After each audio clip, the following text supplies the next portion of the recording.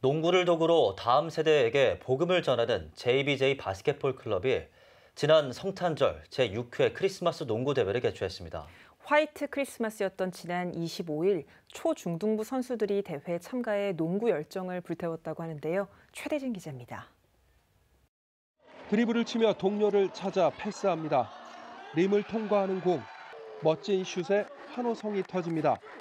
지난 25일 성탄절 서울 YMCA에서 열린 JBJ 바스켓볼 클럽이 주관한 제6회 JBJ 크리스마스 농구 대회 현장입니다.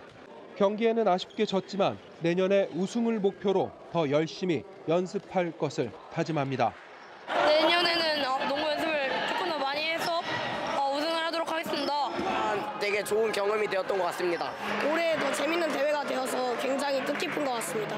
올해 참여하게 되어서 기쁘고 또 많은 것을 얻어가는 것 같습니다. 경기를 보러 온 가족과 친구들도 목소리를 높여 선수들을 응원합니다.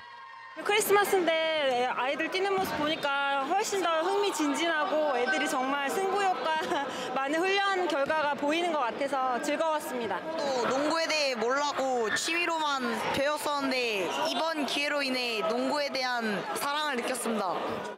전 KBL 프로농구 선수 출신인 JBJ 이항범 대표가 지난 2018년부터 성탄의 기쁨과 의미를 나누기 위해 시작한 대회로 매년 성탄절 개최하고 있습니다.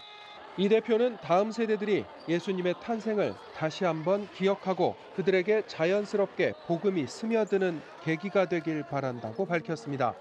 농코트 안에서 복음이 깃들고 있다는 게 느껴져서 더더욱 사명감을 갖고 또 더 많은 또 하나님께서 쓰임 받을 수 있는 그게 바로 저희 JBJ 기도 제목입니다. 앞으로 더 많은 사람들에게 농구를 통해서 복음을 전하는 농구 전도사 되겠습니다.